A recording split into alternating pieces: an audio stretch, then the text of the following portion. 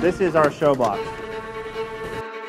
Der Start von Xbox in Europa war extrem holprig. Auch die Fachwelt ist überrascht. Und in Deutschland noch etwas holpriger als im Rest von Europa. Ein Schocker nicht nur für die Fans, sondern auch für die Experten. Und dann kam es zu einer sehr unglücklichen Verkettung verschiedener Umstände. Und zwar. Das habe ich gemacht.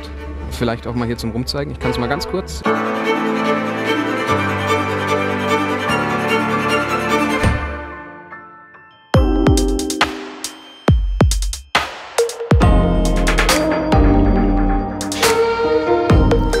Ist Boris Schneider-Jone. In den späten 80er Jahren habe ich sehr viel gemacht in dem Bereich Spielezeitschriften bis rein Mitte der 90er Jahre. Und im Laufe dieser Arbeit habe ich angefangen, Aufträge zu bekommen, Marktforschung über Videospiele zu machen. Wie ticken deutsche Videospieler. Warum will das eigentlich jemand wissen? Bis dann klar war, Microsoft möchte selber in den Spielekonsolenmarkt einsteigen. Und als das sehr konkret wurde und klar war, es kommt eine Konsole auf den Markt, da habe ich dann natürlich gedacht, ach, so schlimm war es in der Spielebranche doch nicht.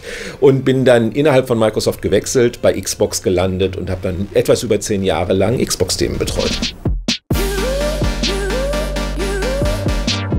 Die erste offizielle Vorstellung des Projekts Xbox war im März 2000 auf der Game Developers Conference in Kalifornien in den USA. Ladies and gentlemen, please welcome Dara Gray Tinefield. For your talent, for your creativity, for your imagination, Mr. Gates is here to see you.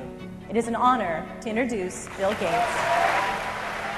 Zu dem Zeitpunkt gab es schon viele Gerüchte, Microsoft macht da was. Und allein die Tatsache, dass für einen Morgen eine Veranstaltung geplant war mit einem Gastredner namens Bill Gates, war klar, irgendwas macht Microsoft. Ich hatte ein Hotelzimmer tatsächlich gegenüber vom Veranstaltungsgelände und schon zwei Stunden vorher ging die Schlange der Leute, die diese Veranstaltung sehen wollten, einfach wissen wollte, was hat Microsoft jetzt eigentlich vor, äh, mehrfach um Block. Ich hatte glücklicherweise ein VIP-Ticket und äh, konnte dann da rein und äh, diese erste Ankündigung war tatsächlich eine Ankündigung. Well, good morning. It's very exciting to be here today and have the opportunity to announce a whole new platform. Well, the best way to understand this is, is to see it in action. Uh, we don't have the real thing here, but we have some uh, early work, uh, some early prototype work that can show you how amazing this is going to be. So I'd ask, like to ask Seamus Blackley to come out and uh, give us a look. We, we don't have the box, but we do have the, the leather jacket. So, well, we do have one box. This is our show box.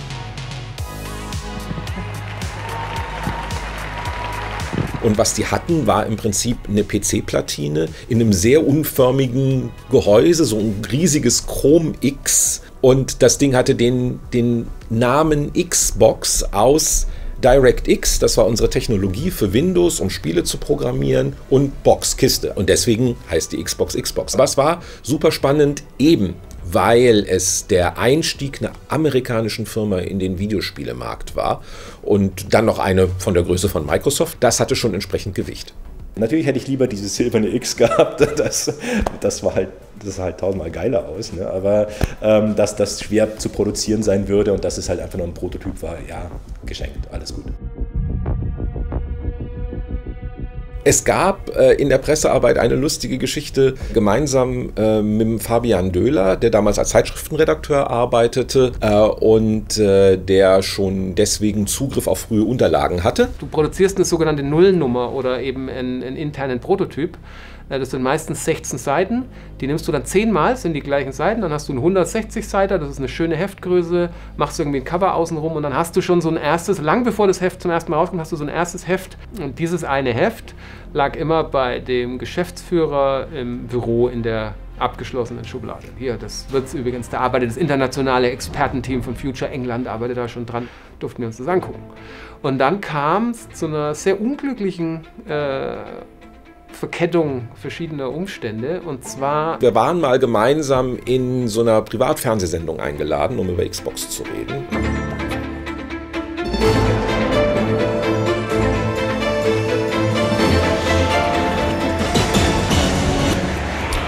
Neben mir sitzt jetzt Fabian Döhler. Hallo. Er hat heute sein Leben riskiert, um uns etwas ganz Besonderes für unsere erste Sendung, für die Premiere mitzubringen. Fabian, was ist das? Ja, und zwar, wie wir vielleicht alle oder hoffentlich schon wissen, nächstes Jahr im Herbst plant Microsoft den Launch der Xbox und wir bei Future machen das Heft dazu, das offizielle, haben jetzt schon damit angefangen, haben eine erste Ausgabe gemacht.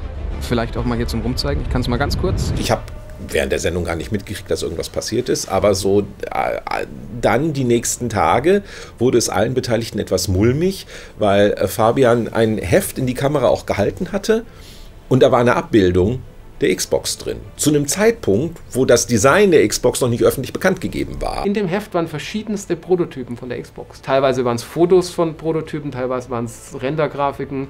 Ähm, und dann habe ich halt eins gezeigt. Achtung, Ganz kurz. Und schnell wieder weg. Und da haben wir sie alle gesehen. Ja. Und was ich nicht wusste, es war das finale Design, was ich da gezeigt habe. Nicht wissentlich habe ich das finale Design der Xbox enthüllt in der Sendung. Noch ein Gag gemacht. Naja, ich wurde nur angesprochen, ist das wirklich passiert und so weiter. Aber ich glaube, der hat von seinem Arbeitgeber deutlich mehr Druck bekommen, als ich von meinem. Großes Geschrei. Und dann habe ich halt noch gesagt, naja, Moment mal, ich habe doch gefragt, ob ich dieses Heft haben kann. Was hast du denn gedacht, was ich damit mache?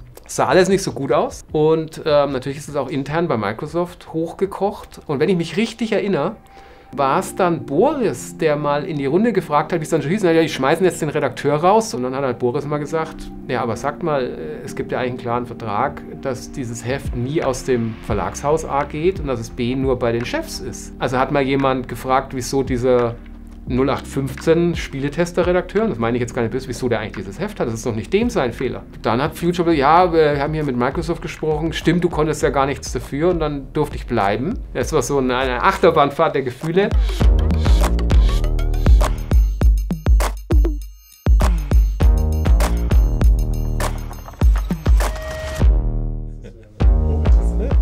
Also es ist eigentlich nicht viel passiert, es ist aber trotzdem immer noch eine, eine, eine, lustige Geschichte. Ich meine, wer kann denn sagen, dass er mal das Design von einer Konsole enthüllt hat, noch bevor Bill Gates und The Rock?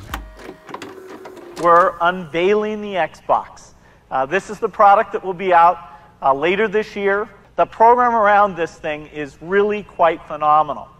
But the box itself uh, is another thing that we put a lot of energy into. This is the Xbox. And so Uh, for the first time, let me now unveil Xbox. Weil ich die Xbox Classic, die erste, die wirklich maßgeblich sich eingeprägte schwarze Xbox, diese, diese ganze Designgeschichte aus dem Schwarz und dem Grün und dem X. Xbox war da, und es hat nicht lange gedauert, bis man das völlig akzeptiert hat als, ja, okay, das ist jetzt der neue Player im Konsolengame. Das war meine erste, ich nenne es jetzt mal wirklich Gaming-Konsole, auch was den, den PC sozusagen ad acta gelegt hat in dem Moment. Microsoft möchte jetzt im Konsolenmarkt einsteigen. Es ist die Xbox und dafür kommt Halo. Und ich als damaliger PC-Spieler, meine erste Reaktion war natürlich, hm, das ist ja jetzt doof. Hätte ich ja gern für meinen PC gehabt. Ich hatte damals schon das Gefühl, auch wenn ich noch relativ jung war, hey, je mehr Konsolen, desto besser grundsätzlich, weil das Videospiele an sich vorantreibt. Meine Reaktion darauf war eigentlich eine freudige, auch wenn, wenn, wenn gleich viele Stimmen kamen, so, nee, Microsoft, die kennen wir halt nur als PCler und es, es gab damals natürlich schon äh, auch so ein, so, so ein Clash of Cultures zwischen äh, PC-Gamern und, und, und, und Konsolengamern. Das heißt, im Endeffekt konnte man schon erwarten, dass, dass da ein Plan dahinter steckt und dass es nicht einfach nur so ein bisschen heiße Luft ist und ein Flämmchen, was irgendwann verpuffen wird. Und da erinnere ich mich noch, ist einfach so ein unfassbar lustiger Moment. Bill Gates, für mich immer wahrgenommen als der absolute Nerd. Und dann steht da plötzlich The Rock neben ihn und schreit ihn an. Today isn't about you, it's about the new Xbox. And quite frankly, I couldn't be more excited. Well, I, I would think that. It doesn't matter what you think, Bill. It is truly the future of video games, and I'm very excited to simply be a part of it if you smell what The Rock is cooking. Die Xbox hat so die Tür eingetreten, die Salontür so aufgeschmissen und ist so reingestümpert am Anfang und hat so gesagt, ich bin jetzt übrigens der Neue! Und hat so ein bisschen den Bully raushängen lassen und hat einfach gesagt, hier sind super viele Spiele und das ist die Power und jetzt haltet alle eure Maul und spielt mit mir. Das war so, die Xbox war irgendwie so ein Prolet. am Anfang. Okay, ja, ich habe verstanden, die Konsole ist jetzt da und ich brauche sie, ist in Ordnung. So, die war schon nicht, nicht dezent. Xbox war nicht dezent. It's a game that you played before, one of the unbelievable things here is that we have a hard disk. Von vorne weg toll war, ist dass sie so auf, auf, auf die Zukunft ausgerichtet war. Du hast äh, als erste Konsole eine Festplatte drin gehabt, du hast als erste Konsole äh, einen Ethernet-Port drin gehabt, du hast äh, echtes Dolby 5.1 drin gehabt. Die haben also, das, das war ja Echtzeit berechnet, Surround. Und die Leute haben gerade angefangen, sich Surround-Anlagen zu Hause hinzustellen, um DVDs hm, mit tollem Surround-Sound zu hören. Äh, und dann haben sie Halo eingelegt und dann plötzlich, bang, macht's hier und da schreit er und er stirbt hier hinten. Das, das war halt, das war ein unfassbarer Qualitätssprung, was, was, was dieses Surround-Erlebnis anbelangt hat. Das gab es vorher einfach nicht. Du hast gemerkt, dass was kommt, was technisch weiter ist als die Sachen, ähm, die gerade schon auf dem Markt sind. Die erste Xbox war ja schon sehr leistungsstark, muss man sagen, für die damalige Zeit. Ganz grundsätzliche Idee war, eine sehr zugängliche Konsole für Spieleentwickler zu machen. Nach dem Motto, wenn du den PC kennst, kannst du eine Xbox programmieren. Dann noch zu sagen, wir bauen eine Festplatte ein war damals recht unerhört, weil in der Regel hatten Konsolen überhaupt keinen Festspeicher. Die Module, die Spielmodule brachten äh, manchmal so Battery Saves mit, dass man einen Spielstand speichern konnte, aber es gab keine Möglichkeit in der Konsole selbst etwas zu speichern, was nach dem Abschalten und wieder einschalten wieder da gewesen wäre. Und das versprach Xbox und dann so zukunftsdenkend zu sein und zu sagen, wir bauen eine LAN-Buchse ein, also eine Ethernet-Buchse damit man später das alles vernetzen kann, sowohl lokal, das ging gleich beim Launch, wie online. Äh, so weit zu denken und zu sagen, wir können nicht am ersten Tag Online-Service einschalten, aber wir werden einen einschalten und wir bauen das da ein, was nicht unerhebliche Kosten gehabt hat. Also Festplatte und Ethernet-Port, das waren alles Sachen, die hätte man eigentlich in der klassischen Spielkonsole zu dem Zeitpunkt nicht gebraucht. Aber das sind die Dinge, die dann dazu geführt haben, dass sich Xbox diesen Ruf erarbeiten konnte und bestimmte Sachen halt einfach viel besser konnte als andere Konsolen. Auch die Fachwelt ist überrascht. Ein Schocker nicht nur für die Fans, sondern auch für die Experten. Der Start von Xbox in Europa war extrem holprig und in Deutschland noch etwas holpriger als im Rest von Europa. Um die exklusive Konsole vorzustellen, hatte Microsoft auch eine exklusive Location gewählt. Das Drama fing an im Oktober, November 2001 auf einer Veranstaltung namens X01 in Cannes, Südfrankreich. Das war ein echt guter Deal, muss ich sagen. Die haben das sehr gut gemacht. Die haben alle hingekarrt, so wie sie es sonst auch immer machen, und hatten dieses kunstvolle äh, Haus äh, gemietet. Das war bestand aus ganz vielen so Bubbles, so Blasen und in jeder Blase war irgendwie ein Spiel mit den Entwicklern, wurde gezeigt. Man konnte da wie in so ein Labyrinth durchgehen und hat ständig irgendwas Neues gesehen. Mit Games wie Dead or Alive 3 bietet die Xbox schon zur Markteinführung am 14. März eine bisher nicht erreichte Grafikqualität. In, in diesen Räumlichkeiten waren dann überall die, die Teststationen. Das war echt äh, reichlich und das, das, das war toll.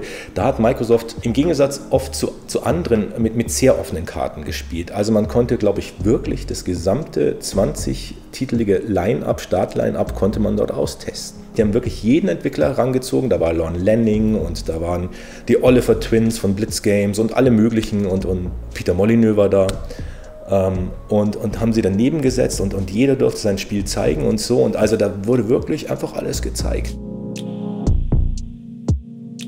Und ich kann mich erinnern, da war mein erstes Halo Multiplayer-Erlebnis und das hat mich extrem geflasht. Das weiß ich noch ganz genau, weil es war zum ersten Mal so eine riesige LAN-Party. Äh, ich, ich, kannte das mit Konsolen in diesem Sinne noch nicht so. Kannte bisher nur äh, Link-Kabel und alles, wo maximal zwei Leute sitzen.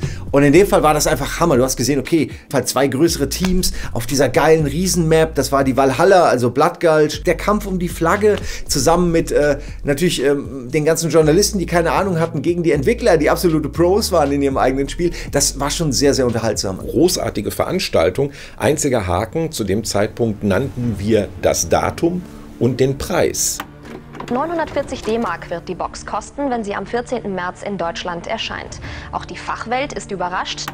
479 Euro. Im Ernst? Und Boris, ja, nee, gibt ja Gründe dafür, laber, laber. Aber klar, es, es war für ihn sicher gar nicht mal so leicht irgendwie, diese, diese, diese Stellung da irgendwie äh, innezuhalten zwischen der Company und, und natürlich berechtigte Kritik, die von unserer Seite kam. Das war deutlich teurer als der Preis in den USA. Das war deutlich teurer als jede andere Konsole im Markt. Und ähm, das war nicht gut. 4,79 Euro war schlicht und einfach auch zu teuer, muss man ganz ehrlich sagen. Das hat dann dazu geführt, dass am Launchtag schon der Preiskrieg losging. Die hat am ersten Tag weniger gekostet, als sie eigentlich hätte kosten sollen. Also das war meiner Ansicht nach richtig gut. Das Einzige war, jeder hat sich kaputt gelacht über diese gigantischen Controller. Damals gab es noch nicht die S-Controller. Das heißt, man hatte nur diese riesigen, absurden UFOs. Mit, mit, mit, mit diesem Glas, mit der Glaskuppel in der Mitte. As I said, the design here was driven by spending time with gamers and actually putting the control in their hand. Eines der interessantesten Themen der ersten Xbox ist natürlich der Controller, interner Codename Duke, von dem immer gesagt wird, er sei viel zu groß gewesen. Und der Controller, äh, vor dem habe ich mich natürlich gefürchtet. Also muss ich wirklich sagen, und dann kommt halt dieses Teil. Und erstaunlicherweise war der gar nicht mal so schlecht. Dieses Riesen, dieses Riesenmoped und ich habe jetzt nicht allzu große Finger und ich dachte nur so, was zur Hölle? Was ist das für ein Riesending? So. Tu mal so, als hättest du einen Controller in der Hand, also spiel Luftcontroller. Und wenn man das macht, wenn man Luftcontroller spielt und dann den Duke-Controller in diese Hände reinschiebt, dann stimmt's. Der ist tatsächlich ergonomisch perfekt durchdesignt. Microsoft hatte Ergonomielabors. Wir hatten das inzwischen gut drauf, wie menschliche Hände funktionieren und hatten die dumme Idee, den perfekten Controller für erwachsene Hände zu bauen. Aber man hatte es trotzdem halt, man hatte ein gutes Pad in der Hand. Ne? Alle haben sich nur gedacht, ey, warum ist es so groß so? Warum kann man es nicht kleiner machen? Und mit dem S-Pad war es meiner Ansicht nach dann auch schon nahezu perfekt. Also ich habe da nichts Negatives dran gesehen. Und sie war auch relativ groß. Alles war ja davor eher so im japanischen Kontext ja immer und relativ eher klein gehalten. Und dann kommen plötzlich halt so die Amerikaner daher. Also das war dann schon etwas, wo man dachte, wow. Vor allem auch wenn man so dran, drüber nachdenkt, da hat man noch nicht mal ansatzweise darüber nachgedacht, wie es dann mal wäre, ohne Schnur zu spielen oder was auch immer. Und wenn ich mich noch recht entsinne, waren noch die Kabel auch noch so, dass du sie auch noch zwischendrin irgendwie noch so trennen konntest und so weiter und so fort. Ich hatte legit für den ersten Xbox-Controller hatte ich zu kleine Hände. Das wirklich, das war, das war super lustig. Kann ich auch vor mich legen und kann so, kann so wie so auf Bongos darauf rumspielen. Ja, weiß ich noch, war geil.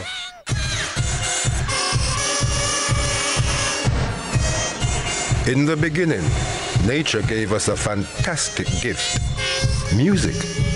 We played and played, life was a melody.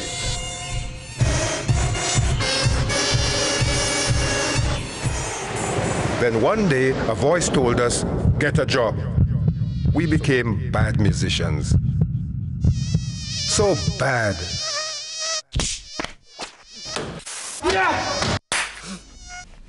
Humans, you have a natural gift for playing. Don't lose it. Work less, play more.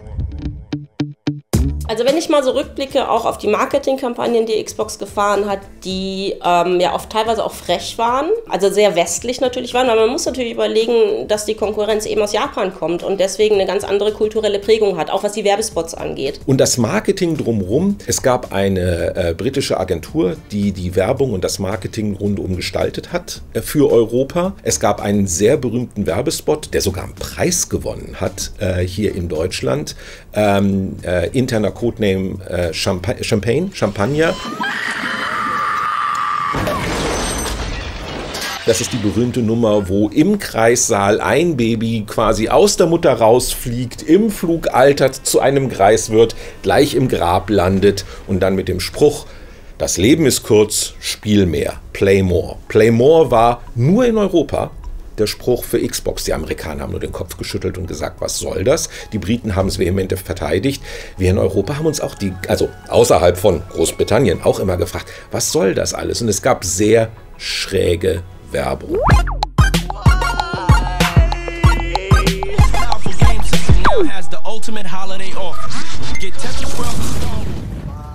Ich glaube, ich bin mit der größte Chaot, den sie hier in Deutschland jemand eingestellt haben. Die Leute, die bei Xbox zum Start gearbeitet haben, haben alle irgendwie Videospiele sehr gerne gemocht. Frank Pingel, Pamela Liebhardt, Thomas Czaric, äh, so als Kernteam. Aber natürlich, wir waren die Außenseiter. Also das war eine die Firma hat Excel gemacht und Server. Und dann, ich erinnere mich noch, es gab mal ein Gespräch mit damals noch Mercedes-Benz, die dann irgendwie Halo gesehen haben und gesagt haben, mit einer Firma, die sowas auf den Markt bringt, wollen wir nicht zusammenarbeiten.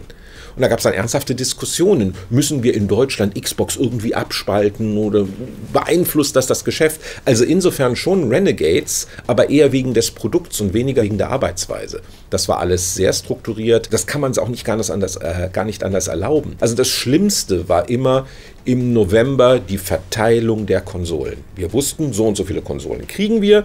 Und der Markt will aber so viele haben. Wer kriegt wie viele? Wen kann man wie sauer machen? Wie kann das alles funktionieren? Was tut man, wenn einer am 6. Dezember sagt, mir sind die Konsolen ausgegangen, ich muss jetzt zusperren? Also Weihnachtsgeschäft findet bei mir nicht statt, rettet mich und so. Und äh, das macht man nicht, wenn man nicht ganz klar regulär Business macht, wie wenn man Tütensuppen oder sonst was verkauft. Da ist dann die Konsole ein Handelsprodukt und da muss man professionell arbeiten. Klar, man kann auf einem Presseevent äh, auch mal Spaß haben.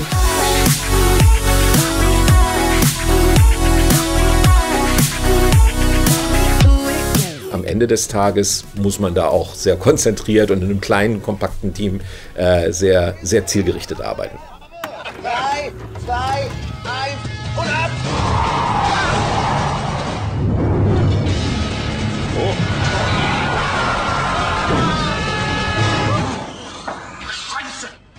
Alles klar, Jungs!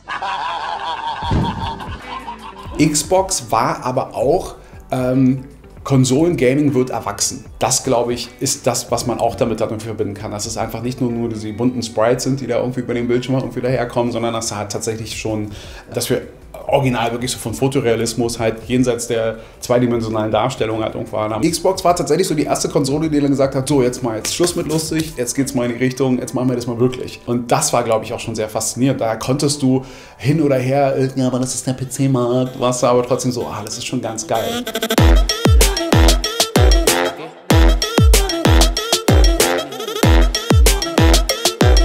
Mehr Spiele, mehr Konsolen, her damit.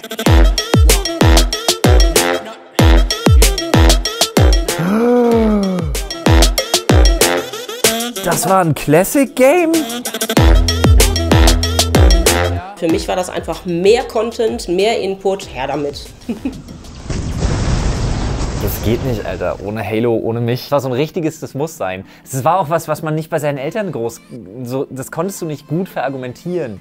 Es war so, ja, aber warum? Das muss. Das, Vater, versteh. Es muss sein. Das war ganz schwierig.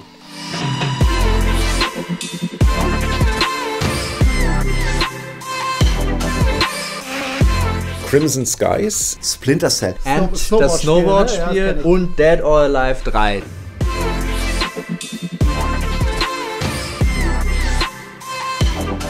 Also eine Sache, an die ich mich immer noch äh, erinnere, und zwar sogar täglich, weil ich äh, nämlich diese Packung in meinem Büro stehen habe auf dem Regal äh, ist Steel Battalion. Schon das ist eigentlich relativ cool, weil es, weil es super düster ist, also es eine ganz fiese postapokalyptische Atmosphäre hat. Aber was halt richtig krass an dem Teil ist, dass es mit dem Controller kam und der ist ungelogen. Also die, die Kiste ist ungefähr so, so groß. Und das ist halt dieser Controller, wenn du den aufbaust, ähm, brauchst auch einen Tisch, wo du ist. Also du musst dich an irgendwie den Tisch setzen und aber dann halt diesen Mech irgendwie zu steuern mit dem riesen Ding, das ist halt richtig geil. Und das krasseste ist ja, dass du dann, äh, das Spiel hat Permadeath, also wenn du drauf gehst, gehst du drauf, außer, ja, hier schnell, wenn alles blinkt und scheppert, schnell hier den, äh, über, über diesen roten Button äh, die, die Haube hoch und den roten Button gerückt und hier den Ausstieg aus, aus deinem Mech. Irre, also total abgefahrenes Teil. Also es waren echt eine Menge Sachen. Ich könnte mal, Fable war toll, ne? Da, Gerade das erste, die ersten Fables. Das war auch so ein Spiel, was ich eigentlich nur so aus beruflichen Zwecken mal so anspielen wollte. Und dann, zack, sind irgendwie fünf, sechs Stunden vergangen und du hängst da und du hast eigentlich ganz andere Dinge zu tun. Aber komm, das, das willst du nochmal weiterspielen. Das vermisse ich auch.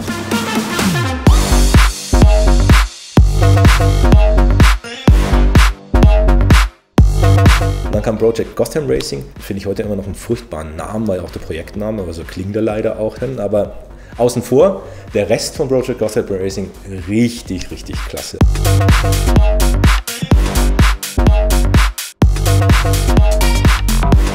Ich habe so einen Favoritentitel, den mit hundertprozentiger Wahrscheinlichkeit niemand anders nennen wird. Ich persönlich war ein riesiger Freund von Rally Sport Challenge und Rally Sport Challenge 2. Das war für mich Rally Sport ähm, Challenge.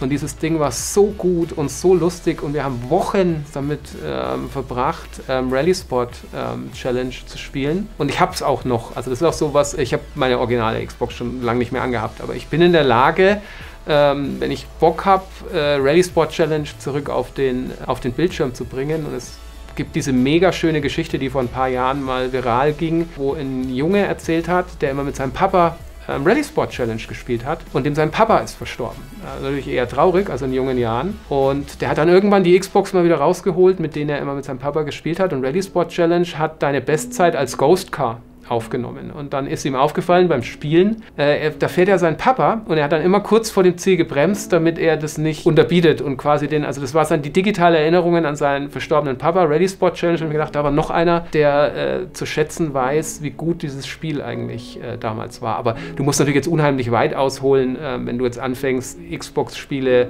ähm, die dich irgendwie nachhaltig beeindruckt haben. Da können wir ja drei Stunden irgendwie reden. Aber Ready Sport Challenge ist der eine Titel, den ich mit auf die einsame Insel nehme.